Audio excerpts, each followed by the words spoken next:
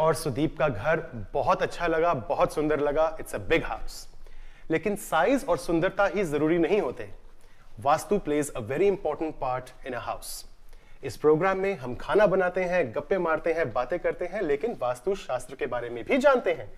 और इसके लिए मेरे साथ हैं रेवा कुमार जी, वास्तु स्पेशलिस्ट रेवा जी, आइए।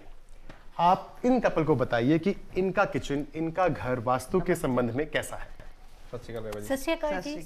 जी। जी हाँ डॉक्टर ओवर का मिस्टर का आपसे मिलके भी बहुत ही अच्छा लग रहा है। खासकर इस घर में आकर।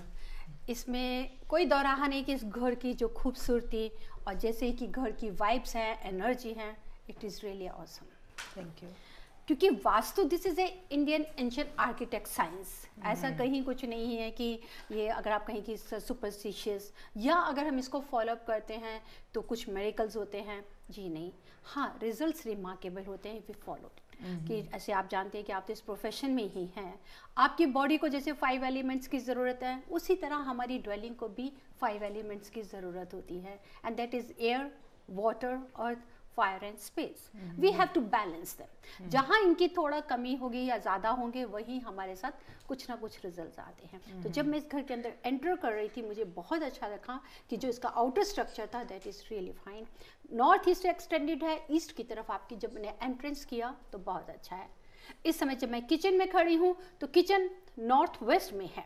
लेकिन अगर आप किचन में भी खाना भी बना रही हैं you are facing towards east आप देखिए कि बिल्कुल ईस्ट की तरफ़ फेस कर रही हैं और नॉर्थ की तरफ़ में आपका वाटर सिंह है। इट मीन्स कि fire and water they both are having their own spin अब जैसे कि मैंने एंटर करी एंटर करने के आते ही बिल्कुल लेफ़्ट साइड में एक मिरर दिखाई दे रहा था हाँ मेरे। को मेरी आपसे एडवाइस है क्योंकि कहीं पे भी हमारे को एनर्जी की डेप्थ देनी है तो नॉर्थ और ईस्ट वॉल पे देनी है।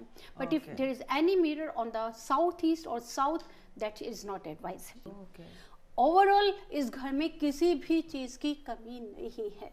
जो आपके घर का अरेंजमेंट है जो इसका इनर स्ट्रक्चर और outer structure and all the placements of the rooms are very good तो मुझे नहीं लगता कि यहाँ वास्तु की कोई कमी है।